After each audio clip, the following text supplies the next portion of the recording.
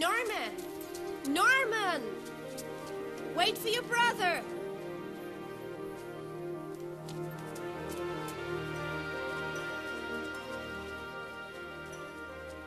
However, there was a balance to my father's system. Every afternoon, I was set free, untutored and untouched till supper, to learn on my own the natural side of God's order.